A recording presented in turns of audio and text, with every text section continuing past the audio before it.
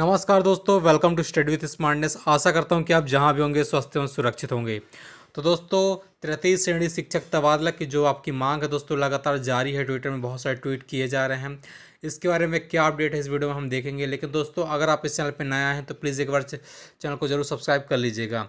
चलिए आपको दिखाते हैं दोस्तों, आपके अपडेट क्या है। इसमें देखिए, आज दोस्तों, एक ट्वीट किया गया है, जिसमें दोस्तों, ये जो आपके जर्नलिस्ट इन्होंने क्या लिखा है कि तृतीय श्रेणी शिक्षक तबादलों का मुद्दा उठाने के लिए ट्विटर पर लगातार संदेश आ रहे हैं। वाकई ये अहम मामला है। लंबे अरसे से प्रदेश के शिक्षक इसकी मांग कर रहे हैं। कई विधायक भी मुख्यमंत्री अशोक गहलोत से इस बारे में मांग कर चुके हैं, लेकिन साथ ही वे विधायक व मंत्री मना भी कर रहे हैं। जिनके क्षेत्रों से सबसे ज़्यादा तृतीय श्रेणी शिक्षक हैं, सरकार इस बारे में पॉलिसी बनाने की बात कर रही है, लेकिन अभी तक यह पॉलिसी सरकारी फाइलों में बाहर नहीं निकल पा रही है।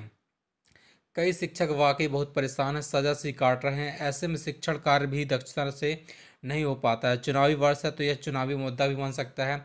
ऐसे में सरकार को इस मुद्दे पर शीघ्र फैसला लेना चाहिए और एक पॉलिसी के तहत तबादले करने चाहिए ताकि ना शिक्षण कार्य में परेशानी हो और ना ही शिक्षकों को परेशानी हो।